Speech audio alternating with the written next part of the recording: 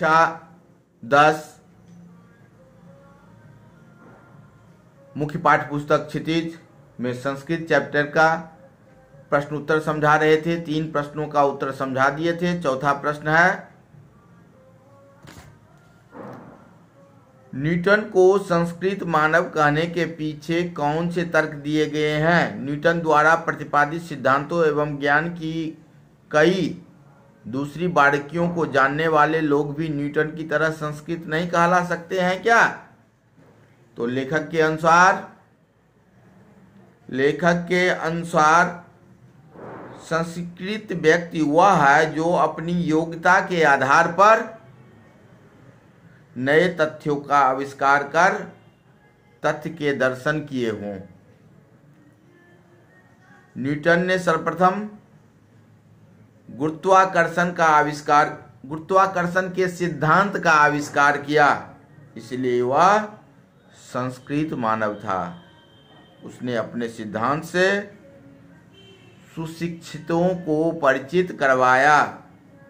दूसरी ओर, न्यूटन के सिद्धांत से परिचित होने वाले, न्यूटन से भी अधिक ज्ञान रखने वाले उसी प्रकार संस्कृत व्यक्ति नहीं कहला सकते, जिस प्रकार पूर्वजों से प्राप्त वस्तु संतान को अनायास ही मिल जाती है।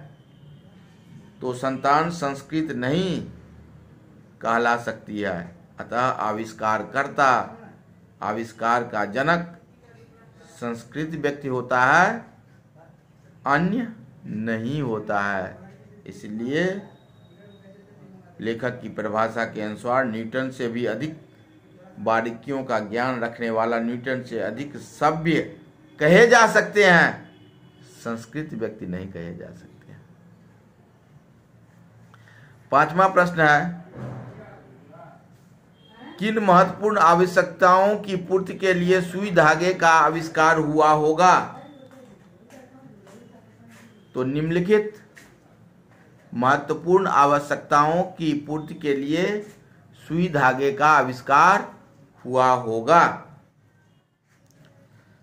जब वह सर्दी गर्मी को सहन करने में कोई लोग असमर्थ हो गया होगा या शीतोष्ण से बचने के लिए, उपाय ढूँढने के लिए सुई धागे का आविष्कार हुआ होगा। आवश्यकता अनुसार शरीर को सजाने की प्रवृत्ति ने जन्म लिया होगा। किसी तरह कपड़ों के दो टुकड़े को जोड़ सकने के लिए सुई धागे का आविष्कार यह हुआ होगा। या मन में हुआ होगा कि शरीर को अच्छी तरह से ढका जा सकता है और कपड़े को सीने के लिए सुई धागे का आविष्कार हुआ होगा। छठा प्रश्न है, मानव संस्कृत एक अविभाज्य वस्तु है। किन्हीं दो प्रसंगों का उल्लेख कीजिए।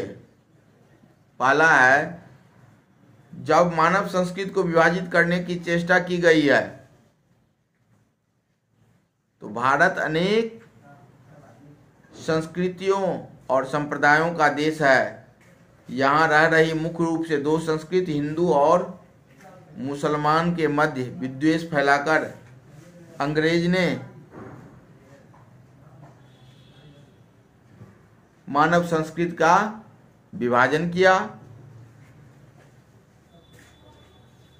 मुसलमान के नाम पर और हिंदुस्तान, पाकिस्तान, हिंदू और मुसलमान के नाम पर पाकिस्तान और हिंदू, हिंदुस्तान। इस दोनों का जो बंटवारा हुआ, इसी भेदभाव को लेकर हुआ। आज भी अपने सरहदों पर मानव संस्कृति के वाहक हैं, क्योंकि मानव संस्कृति के बीच कोई लकीर नहीं खींची जा सकती है। इसे एक होना चाहिए।